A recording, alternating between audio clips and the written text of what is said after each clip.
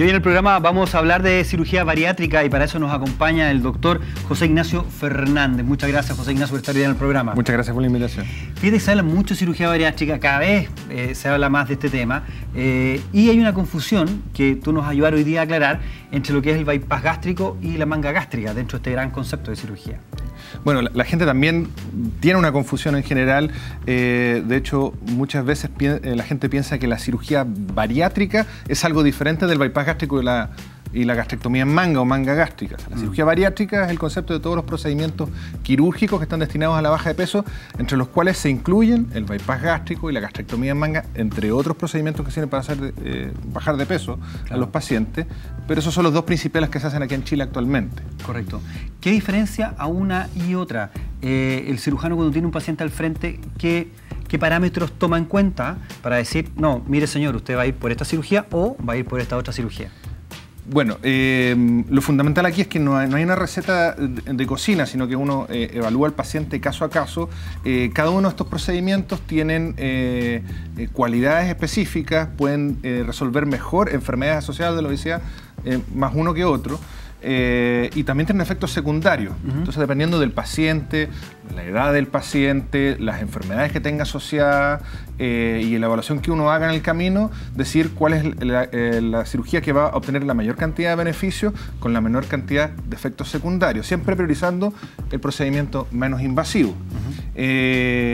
El bypass gástrico es en general el procedimiento más invasivo, que es un procedimiento que combina restricción con mala absorción de nutrientes. Correcto.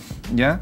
Eh, en general, a grandes rasgos, se prefiere en pacientes que tienen obesidad mórbida, o sea, un índice de masa corporal sobre 40, eh, o que tengan diabetes, ya que el bypass gástrico es una cirugía que eh, puede lograr la remisión de la diabetes, es decir, pacientes diabéticos que ocupen insulina o medicamentos, dejar de utilizar estos medicamentos y comportarse como si no tuvieran diabetes. Y el otro aspecto en el cual se luce es en el tratamiento del reflujo gastroesofágico. El bypass gástrico de por sí es una cirugía antirreflujo y los pacientes que tienen este problema se resuelven con esto. Correcto. Por otro lado, el paciente con gastrectomía en manga, eh, que se va a someter a una gastrectomía en manga, es un paciente que habitualmente no es obeso mórbido, eh, que no tiene diabetes eh, y que no tiene reflujo gastroesofágico, porque la gastrectomía en manga en general puede lograr la remisión de la diabetes, pero en un porcentaje inferior al del bypass gástrico. En esos casos uno prefiere el bypass.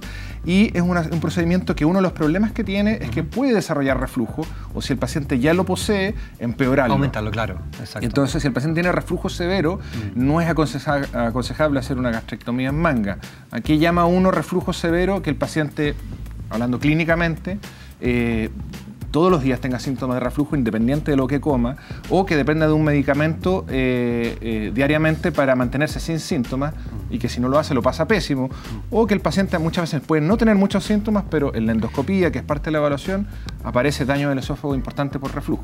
Fíjate que entendiendo José Ignacio que este es el concepto de cirugía bariátrica con estas dos áreas Existe otro término que también enreda mucho y confunde mucho a las personas, a los pacientes, y le hacemos muchas consultas, que es el balón gástrico. Entonces sería bueno también aclarar qué es ese procedimiento y, cuáles son los pros y los contras de eso, y para quién estaría indicado. Claro, el, balón intragástrico no es una cirugía, es un procedimiento endoscópico no, invasivo, no invasivo, eh, básicamente, si no quisiera ponerlo en términos simples, un globo que se produce desinflado a través de la boca hasta el estómago, eso se llena en el fondo gástrico, que es la parte elástica del estómago, con un volumen de 500, 800 cc, eh, entre comillas no podría decir que es como haberse tragado un melón, ¿ya? y se, eh, produce la sensación de ocupación en el estómago, es decir, que uno está eh, pleno, está, está, lleno el estómago, y permite seguir una dieta estricta sin estar con sensación de, de hambre en forma, en forma permanente.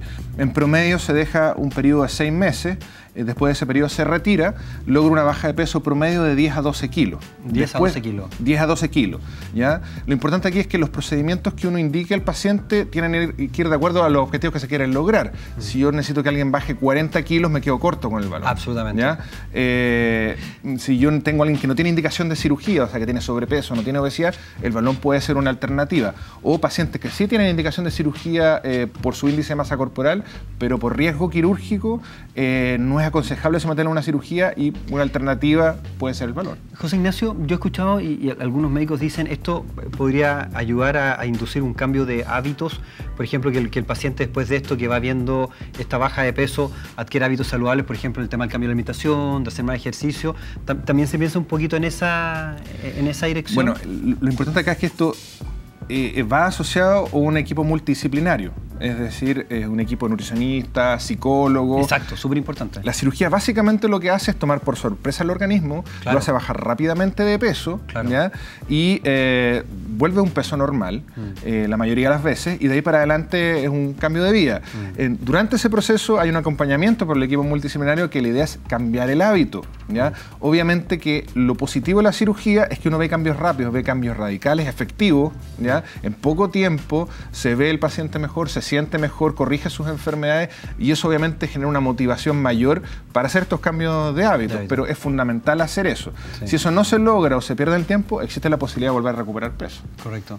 Interesante tema, José Ignacio. Hoy introducido las bases de lo que es la cirugía gástrica, un tema que va mucho más, pero te agradezco muchísimo. Vamos a seguir desarrollando temas, por supuesto. Gracias por estar con nosotros hoy día y agradecimiento especial a ICCC. Tenemos la página web www .icc.cl.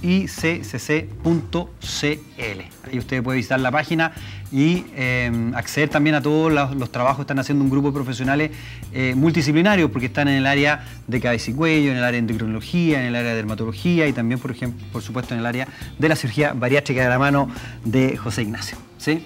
Muchas gracias por estar hoy día con nosotros. Nosotros seguimos con más Doctor en Casa. Hacemos la pausa y estamos con ustedes.